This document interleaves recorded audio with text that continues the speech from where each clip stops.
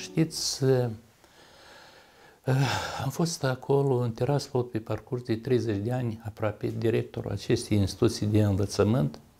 Am avut foarte multe evenimente, am trecut și prin cele bune, dar foarte puțin a fost, dar uh, prin foarte grele și dificile momente, pentru a păstra limba română, pentru a păstra datele noastre, a păstra valorile noastre naționale și vă închipuiți că am preluat uh, instituția care se numea pe timpul acela uh, școala numărul 20 din Tiraspol, într-o perioadă foarte, foarte grea, anume în perioada războiului.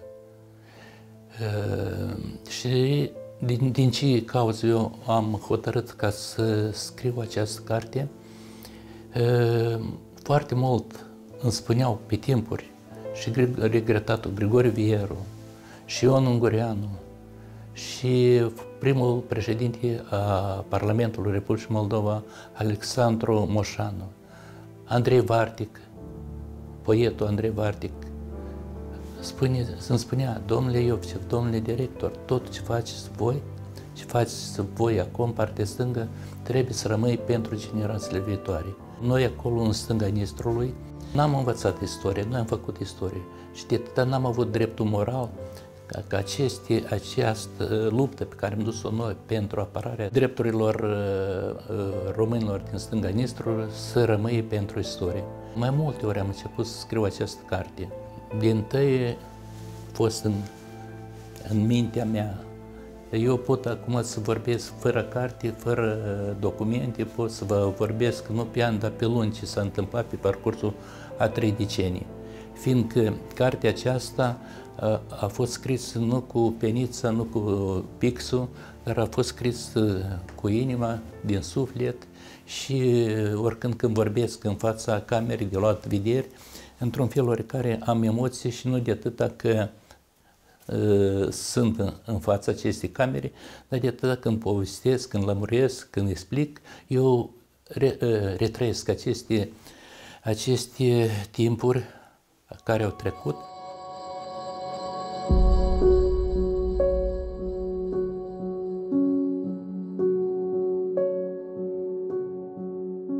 Eu m-am născut în sudul Basarabiei, în satul Găvanoasa, fostul județ Cahul. Uh, eu și spuneam că aceste trei județe au făcut parte din regat. Izmail, Cahul și Cetatea Albă.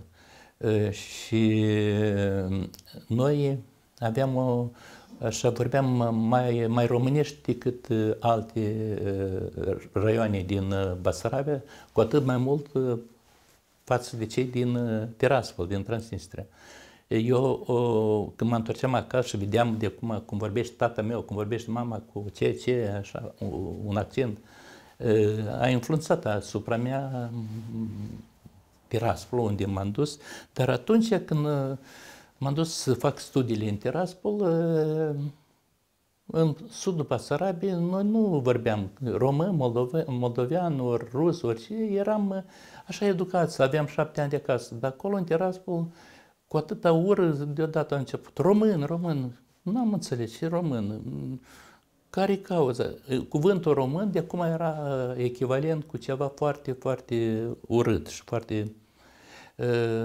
Dar eu din principiu vorbeam numai românești în Tiraspol, am învățat, vă închipuiți, în perioada aceea, cât am învățat 5 ani, din 1969 până 1974, în toate instituțiile de învățământ din uh, Chișinău, făceau studiile în limba rusă.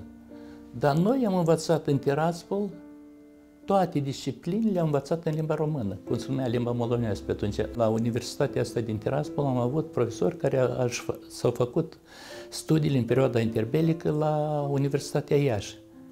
Uh, Alexandru Cozovodă. Și pentru prima dată am auzit de la profesorul nostru de origine rusă. Și că am făcut studii la uh, Iași și ne vorbea atât de frumos de acest, despre această universitate, în perioada aceea era foarte mare pericol.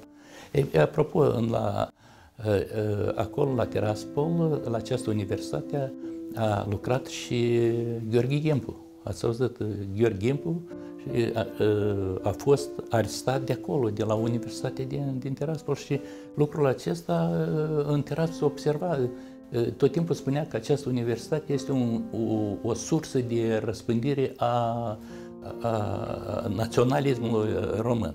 Eu m-am născut în sudul Basarabiei și odată cu laptele mamei, primele cuvinte le-am pronunțat în limba română și limba română pentru mine este limba maternă. Tatăl meu a fost, s-a născut în, în Bugeac, în raionul Arciz, de lângă Tatar Bunar, și știți, până la șapte ani el nu știa altă limbă decât de limba bulgară. S-a dus în școală românească, a învățat în limba română, șapte clase românești a avut în perioada interbelică, a învățat foarte bine, dar în perioada aceea, șapte clase românești, tata tot timpul spunea că chiar socotea că parcă ai avea o, o facultate.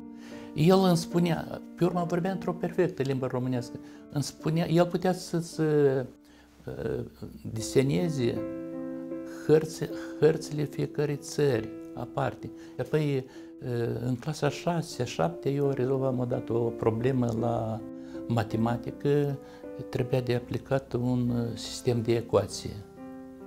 Dar știți, cu două necunoscute, acolo X, Y, două necunoscute, și tata să mă ajute la rezolvare.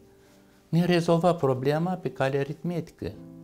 Mă duc la școală și îi arăt doamnei profesoare și că n-am înțeles cum a rezolvat-o, fiindcă tot acel sistem de ecuație, dar aici în cap, în mintea lui cum a fost, deci ă, școala ă, în perioada interbelică ă, românească a fost foarte puternică.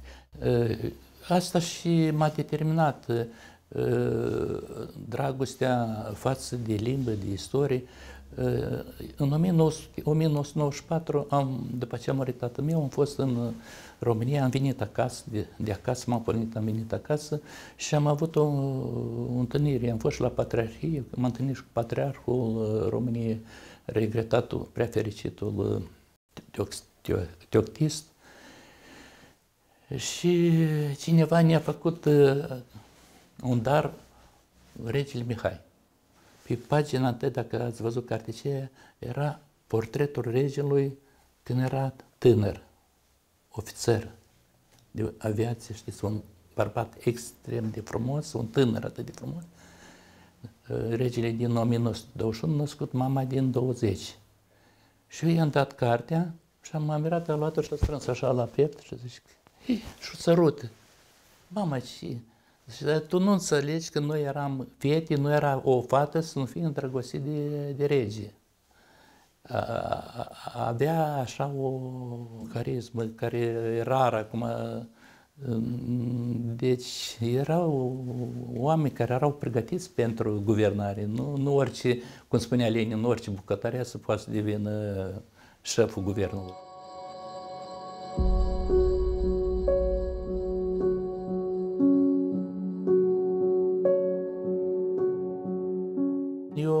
Probleme în Tiraspol și au fost, în carte tot descriu, a fost pusă problema să mă excludă din, de la facultate, deoarece îmi plăcea foarte mult filozofia și am pus niște întrebări la un domn tovarăș care nu i-a plăcut și a spus că sunt antisovietic și anticomunist și locul meu e în altă parte, nu în, la facultate.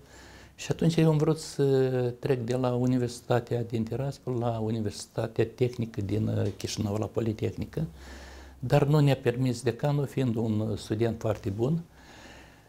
Uh, am terminat uh, foarte bine facultatea și am avut să aleg, deoarece la noi era după recomandare, trebuie să pleci cu un dar aveam posibilitate să aleg li, după listă, știți, locurile mai bune.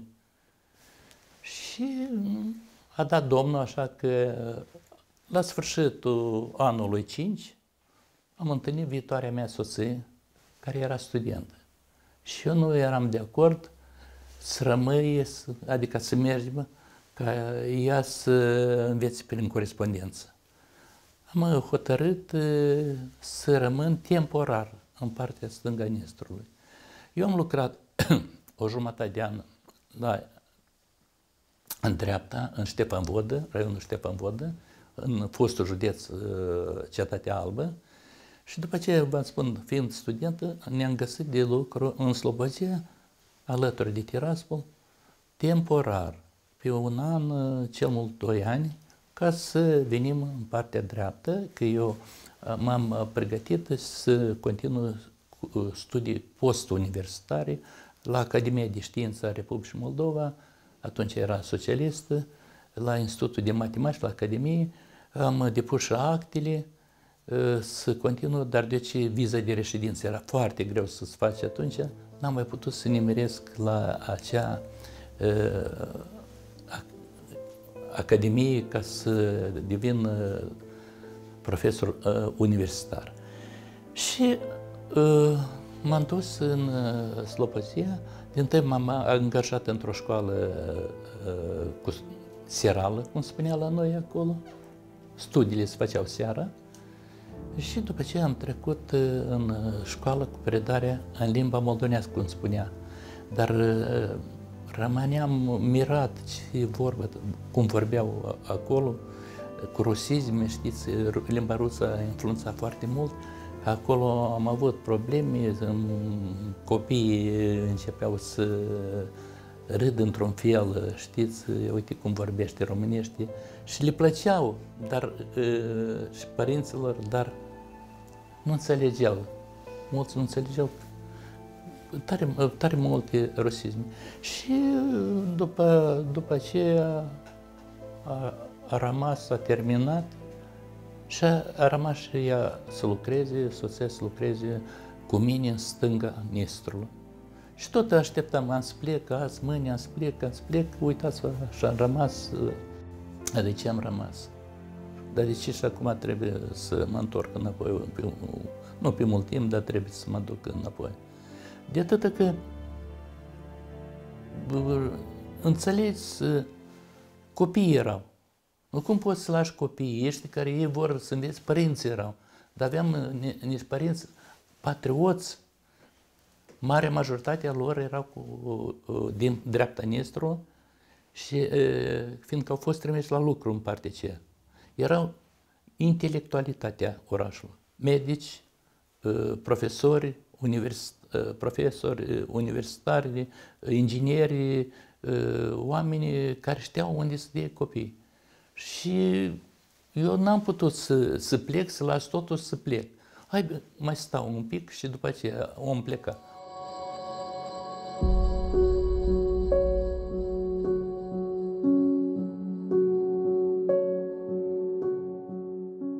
țara mea este România, fiindcă altfel nici nu pot uh, spune, deoarece pentru mine, personal, dar și pentru mulți, pentru mine personal, cum pot spune că România e o țară străină, dacă, ori vecină, dacă eu mă duc și vin la mormântul fratelui meu, care este mormântat uh, la Năvădar, lângă Constanța, oricum pot eu spun că România e țară vecină, străină, dacă la Brașov am uh, fica mea, Mezină, Elena, dacă eu la Brașov am, uh, uh, am un nepoțel pe care îl cheamă Ștefanel, Ștefan, cu sânge amestecat, mama de născut în Transnistria, adică fica mea, eu născut în județ Cahul, tata meu în Acherman, așa cum se numea Cetatea Albă, iar tata lui Ștefanel e din, e din, din Brașov. Am fost odată la deschiderea anului școlar, la școala numărul 190 din București, de aici, la dumneavoastră, o școală foarte mare fost mii de copii, părinți, erau cu toți, am, mi-au oferit cuvântul, uh, am vorbit la Cariu Solemn și după aceea doamna directoare mi-a dat uh, un însoțitor să văd cum e școala. Și am avut ocazia să sunt în clasa a patra, la Pici, și am avut uh, onoarea să am o lecție de dirigenție în această clasă. Eu am vorbit în fața copiilor și am întrebat pe copii, așa, am întrebat deoarece, a să vă dați seama de ce. Copii, nu am mai spun ce am vorbit totul, spuneți vă rog, în ce limbă vorbesc eu? Îi sui, mira să zic, n-a înțeles. Eu vă întreb în ce limbă vorbesc. Și apoi, domnule director, vorbiți în limba română. Unul mai... Și apoi eu stau zic, mai trebuie experți, trebuie alți experți, trebuie academii de știință, trebuie parlamente. Dacă un uh, director, un profesor din uh, stânga Nistrului stă în fața unui copil din București și uh, cunosc la perfecție, să înțeleg, eu spun, oare mai trebuie să păstrăm în Constituția Republicii Moldova articolul 6 că este limba moldonească? E o, o limbă, e o limbă, limba română pentru toți. Și toată lumea știe, toată lumea știe că Basarabia este pământ românesc, Basarabia este România. Părere de rău, soarta noastră multe ori au hotărât-o și o hotărăsc marile puteri.